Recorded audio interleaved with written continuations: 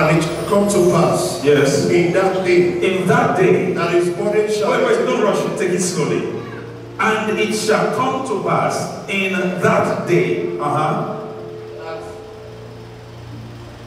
that the, his burden shall be that, taken no, away. read it, read that, That his burden that his burden shall be, taken away. okay, this burden is his own. Eh? Are you following me here? It says, his burden shall be taken away. Oh, is anybody with me here? His burden shall be taken away. Read it again. From off his shoulder, From off his shoulder and his yoke and his yoke. from off thy neck. Ah. Now listen, his yoke from off your neck.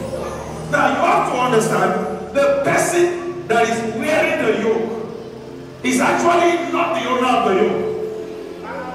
It says his yoke shall be removed from off your neck. His yoke shall be removed from off your neck. That means the yoke is actually belonging to the enemy. But the enemy put his yoke on people. Are you with me here? Finish it, finish it. And thy, thy yoke shall be destroyed Yes. because of the anointing. Because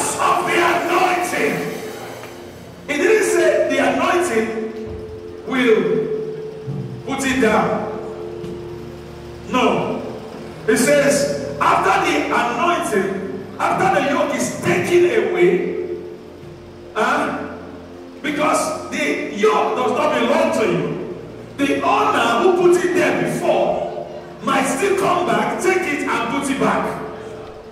But the Bible says, when it is taken away, it shall be destroyed. Is anybody following me here right now? So that there will be no yoke to put on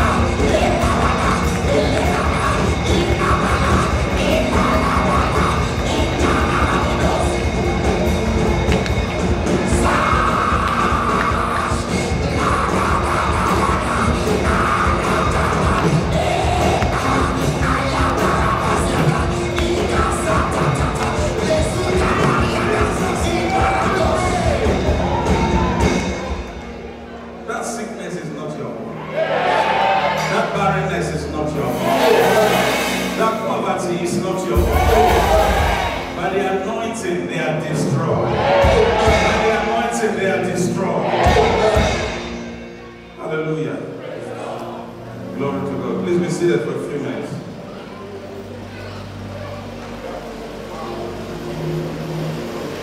Revelation chapter 1, verse 6. Revelation, someone help me find it and read it. Revelation chapter 1, verse 6. Revelation chapter 1, verse 6. Revelation is the easiest book to find. It's the last book of the Bible. Revelation chapter 1, verse 6. And hath made us kings and priests And has made us kings and priests unto God and his Father. unto God and his Father. To him be glory and dominion forevermore. To him the glory and dominion forevermore. Hallelujah. Somebody shout dominion. No, that's not a shout, that's a whisper. I said shout dominion. Now, that is what the anointing does. It gives you dominion over what dominated you. It says Jesus has made us kings and priests. He has anointed us as kings and priests. If you read the entire Bible, you find that even from the Old Testament to the New, before you, you are made a king, you are anointed with oil. Before you are made a priest, you are anointed with oil. And when we talk about the kings and the priests, in the New Testament, it is not, I want to choose one. I want to either be a king or a priest. In the New Testament, he has made us both. Oh no, nobody's hearing me here right now. In the New Testament, you are both a priest and a king. As a priest, you can speak with God and have spiritual and supernatural power. You can speak to things and they will respond. Oh no, you are not talking to me this morning. As a priest, you have a relationship with God which puts you above the class of ordinary men. As a priest, you have authority principalities and powers.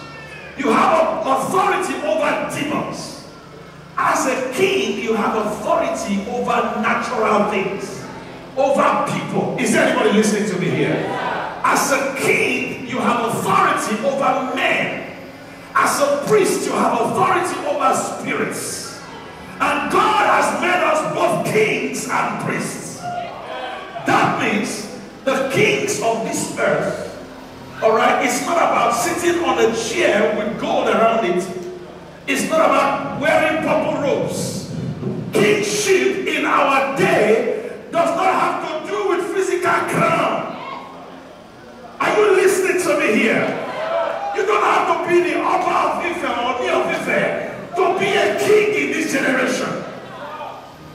Let me tell you who the true kings are. The people who control the wealth of nations are the kings.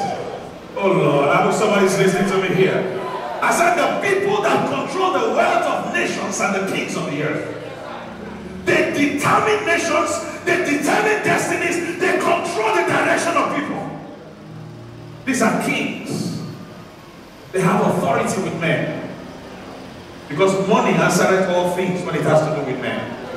Oh, is anybody listening to me here? Yeah. But the God has made us kings. That means there's an anointing that comes upon you that will help you to excel in your business, in your job, in that area, that field that you have put your hands on. That God will so lift you and you become a king and an authority in that direction. Do I have a believer here this morning? Hallelujah. God has made us kings and He has made us priests. But unfortunately, what you don't see, you cannot seize. So, in Genesis chapter 42, let me, verses 1 to 3, let's read that. I'm almost through. Genesis chapter 42, verses 1 to 3. Do you know, do you know that the money that an oil company or an organization like Mobil makes in a year what some nations make in 10. So the president of those nations and the CEO of Mobil, who is a king. No, is anyone listening to me here? I said God is making somebody king here. There's an anointing for kingship, dominion in your field, in your area.